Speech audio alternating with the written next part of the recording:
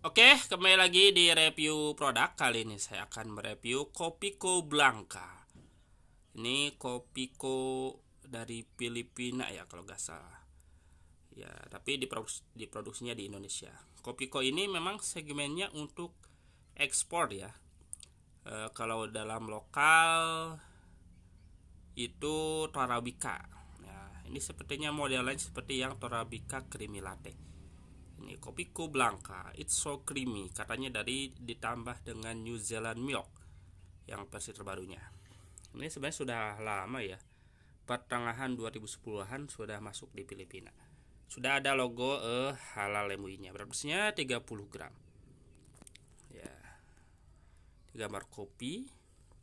Ya kalau Torabika creamy latte itu eh, gulanya dipisah. Kalau ini tidak kita lanjut ke bagian belakang.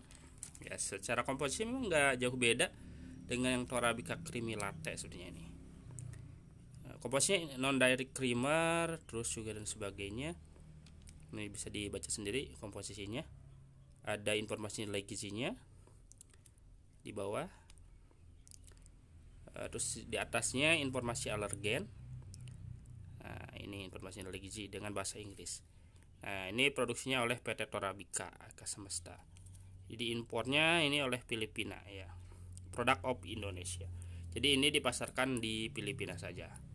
It's so creamy. Cara menyiapkannya 80 Celcius 120 ml. Oh, hanya sedikit airnya ya. Oke. Seperti itu dari segi tampilan kemasan dari Kopiko Blanca. Lalu bagaimana dengan hasil seduhannya? Saya akan seduh dulu kopinya dari Kopiko Blanca.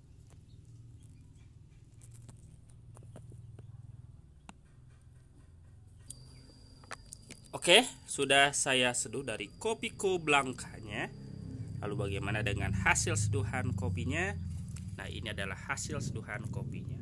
Ya, terlihat begitu creamy. Ininya juga uh, cukup tebal, meskipun tak setebal seperti yang creamy foam uh, kopi Malaysia ya.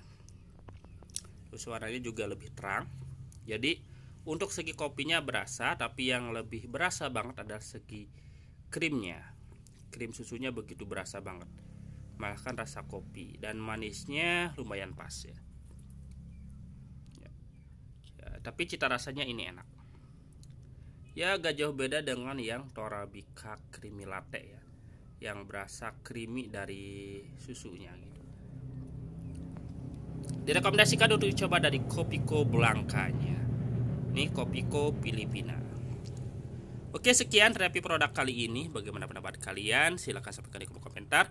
Jangan lupa untuk like dan juga subscribe agar ketinggalan video-video terbaru dari Tafakur. Sampai jumpa di review produk lainnya. Bye.